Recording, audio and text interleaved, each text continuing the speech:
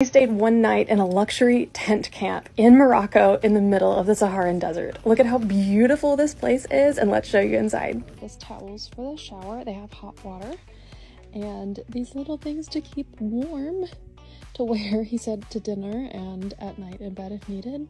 Funny little cute hat. And slippers to wear around as well. Comfy cozy bed. Don't know about that one. Little luggage rack Nice little bathroom setup here. We have a full toilet and whole shower with hot water and a beautiful little light. And plenty of storage for all the stuff and even an extra bed. Turns out you can sleep three people here.